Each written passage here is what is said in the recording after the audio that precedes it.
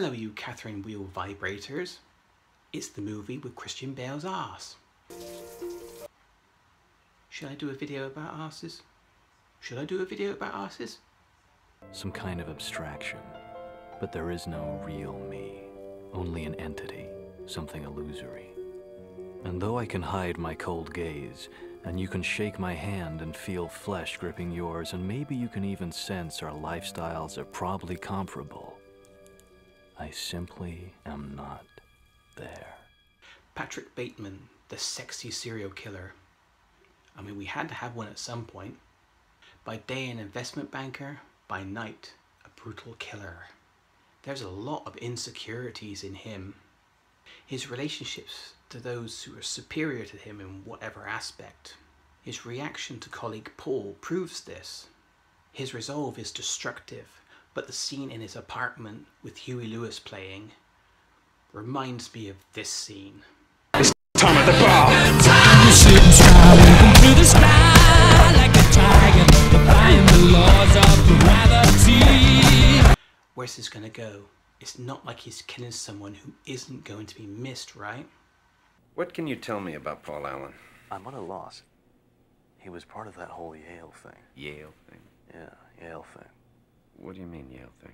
Well, I think for one that he was probably a closet homosexual who did a lot of cocaine at Yale thing.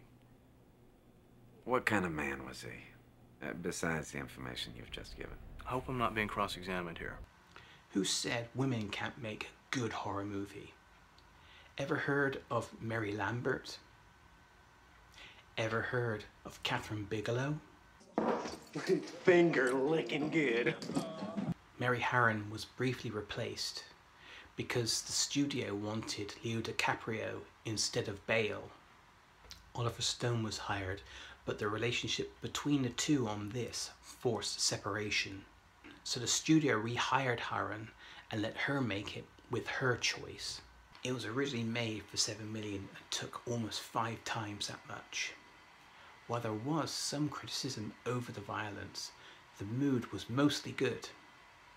Christian Bale's performance was well received, and I think it's one of his best pre Batman roles.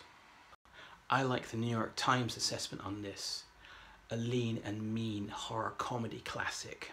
It's like a beautifully cooked steak.